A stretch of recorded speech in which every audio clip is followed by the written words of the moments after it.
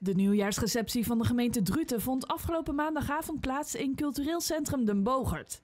Door de late benoeming van waarnemend burgemeester Corrie van Ree Oud-Ammerveld was de receptie van Druten de laatste nieuwjaarsreceptie in de regio.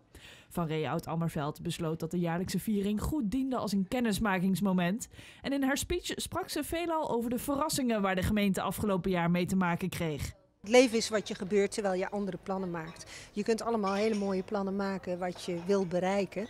Eh, maar als er dan zaken gebeuren zoals hier dat de burgemeester vertrekt of dat een wethouder ziek wordt, dan gaan je plannen wel in de war. En daar heb je geen invloed op. Dat is, uh, dat is eigenlijk de boodschap van plannen maken moet je blijven doen. Ambitie moet je ook hebben, moet je houden.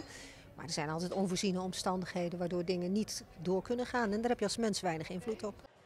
Ondanks dat Van Ree Oud-Ammerveld nieuw is in de gemeente Druten, is ze wel goed bekend met de regio. Dat is te danken aan haar carrière als waarnemend burgemeester in de gemeente Westmaas en Waal, waar ze in 2017 van juni tot november actief was.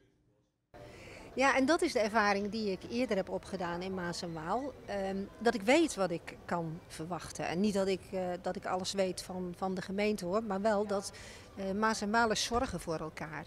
En die zijn actief. Dat zie je ook aan het aantal verenigingen wat er is. Je ziet het aan het aantal dorpshuizen wat er is en wat goed bezocht wordt. Dus omdat mensen zich betrokken voelen bij de gemeente. Ze voelen zich betrokken bij de dorpskern. En daar zetten zij zichzelf ook voor in. Eh, als mensen zelf aangeven wat ze nodig hebben, dan kun je als gemeente faciliteren om een modern woord te gebruiken. Je kunt het proberen om het mogelijk te maken. Je kunt mensen helpen om dingen te doen die zij graag willen. Maar nogmaals, wij zijn er voor de inwoners. En als de inwoners zelf al plannen hebben, duidelijk zijn, actief zijn, dan helpt dat je als gemeente. En ik weet dat dat in dit gebied zo is.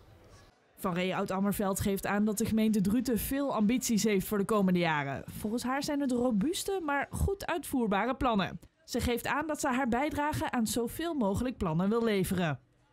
In het collegeprogramma staan ambitie. We willen de gezondste gemeente, de efficiëntste gemeente, de actiefste gemeente. Het is een hele een heel rijtje.